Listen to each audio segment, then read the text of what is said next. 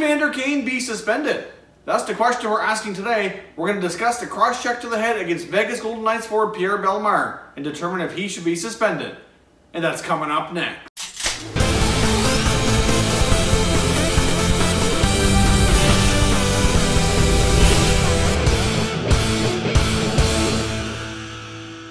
Hey everyone and welcome back to another video here at Top Shelf Hockey. If you're new to the channel, thanks for stopping by. We review and discuss all 31 NHL teams. So if you're a huge hockey fan, consider subscribing and clicking the bell so you don't miss anything.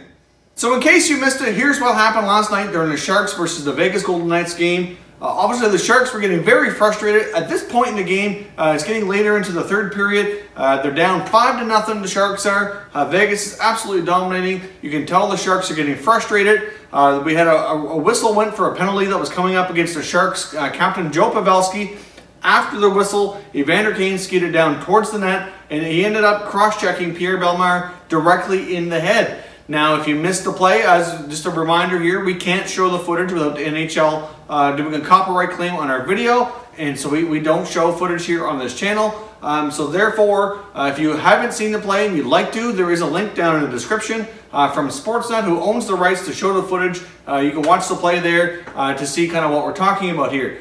So based on what we've seen so far here in the playoffs and other scenarios where players have uh, been given major penalties and uh, had hearings for possible suspensions, it does seem likely that Kane will be suspended. Uh, if you watch the play, as I mentioned, uh, the link is in the description down there. You can see him clearly cross-check Bellemare in the side of the head. Uh, Bellemare clearly, uh, you know, went down pretty good. Uh, looked to be injured on the play. Evander Kane was assessed a five-minute major penalty in a game misconduct for the play, so it is possible that after the league uh, reviews everything and dis discusses this with Kane, they may decide that that punishment was sufficient enough um, but to me, based on what else we've seen here, other uh, other players like Ryan Hartman, Drew Doughty, etc., in this playoffs, uh, when it comes to suspensions, I think he probably will be given a one-game suspension and will be out of the lineup for the Sharks versus Golden Knights in Game 2. At least that's my take. So leave your comments down below. What did you think of the play? I mean, obviously, it came after the whistle. It was late. It was certainly a tad on the dirty side. I mean, it was not called for at all, but I understand that the Sharks were getting incredibly frustrated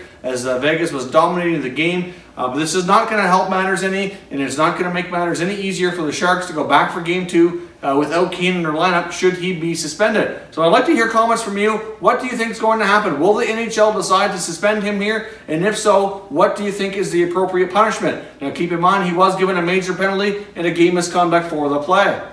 If you're new to the channel, I hope you consider subscribing. We cover all 31 NHL teams. There's plenty of content here for all fan bases to enjoy. If you haven't done so already as well, check us out on Twitter. You're going to see our Twitter handle here on the screen.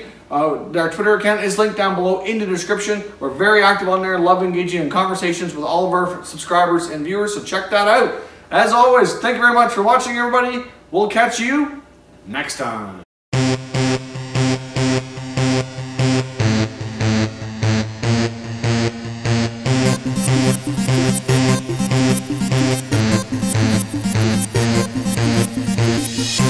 We'll be right back.